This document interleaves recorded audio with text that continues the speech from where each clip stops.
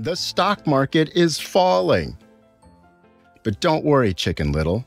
Option trades have your back. And you can learn options trading when the market sky is falling. Let me tell you how options can beat the falling market and make money on a shoestring budget.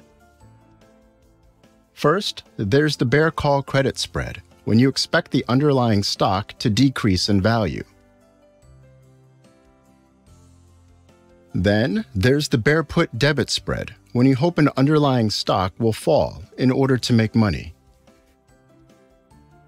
And you can do a strangle spread to squeeze out a profit whichever way a stock moves.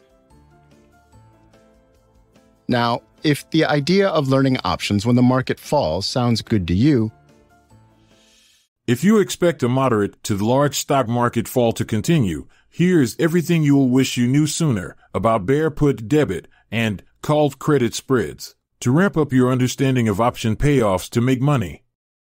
You can find out more with a click below on how to trade options. Option trading is easy. Let's get started. Jonathon